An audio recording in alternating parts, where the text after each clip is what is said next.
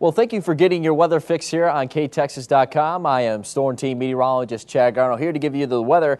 And we're going to talk about one last time this upper level disturbance you can see spinning out there. We're no longer going to be concerned about severe weather because that is heading out of town. Behind it, though, is a big pool of cool air, and it's going to be coming out in the northwest, continuing to spill right on top of us. And what that will lead is to temperatures falling below normal for this afternoon and maybe even for this evening. There is a possibility we will mention that there could be an isolated shower or thunderstorm developing in our southern counties, even though you don't see it on this map. There's a possibility, but it's very, very slim out there. That won't happen until this evening. Today's forecast will have some sunny intervals by this afternoon because we certainly are seeing the clouds this morning.